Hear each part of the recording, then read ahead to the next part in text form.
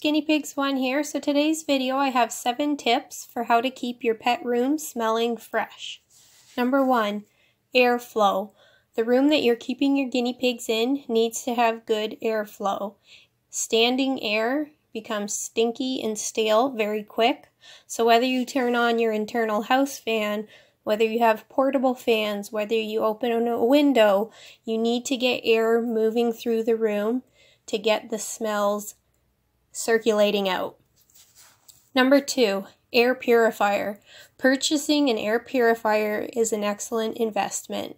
It cleans the air, ridding it of dust, allergens, and light scents, and it also can act as one of your room's air circulators. Number three, remove soiled hay. Hay that has been peed on is not edible for your guinea pigs, so it should be removed promptly. Wet hay covered in pee absolutely stinks. Number four, bedding. Using absorbent bedding is a must. So this is going to absorb odors and the urine properly, helping to have a better smell in the room. You can use Aspen shavings, Carefresh products, or other quality paper-based beddings that really absorb or of course proper fleece cage liners. Using things like newspaper isn't good, cheap paper-based beddings aren't good, using fleece or cloth that you're not supposed to be using isn't good. So all of those things can cause health issues and stinky cages. So make sure your bedding is what you need.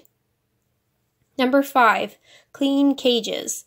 Cleaning your cages one to two times a week is a good schedule. Spot cleaning two times a day is an excellent habit to get into.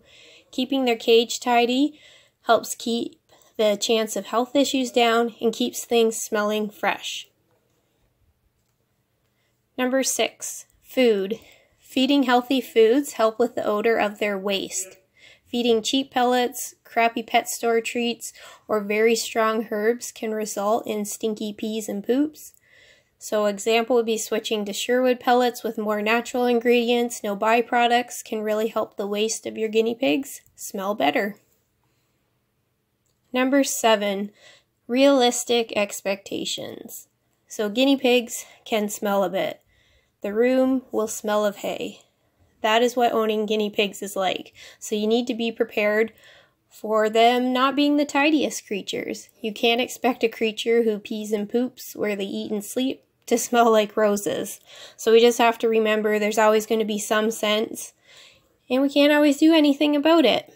And please remember, never ever ever use any scented products near your guinea pigs. They have super sensitive respiratory systems, and that will cause permanent damage and health issues. Thanks. Bye, guys. Thanks for watching. I hope to see you again real soon. In case you have time for another video, I've left two here for you to pick from.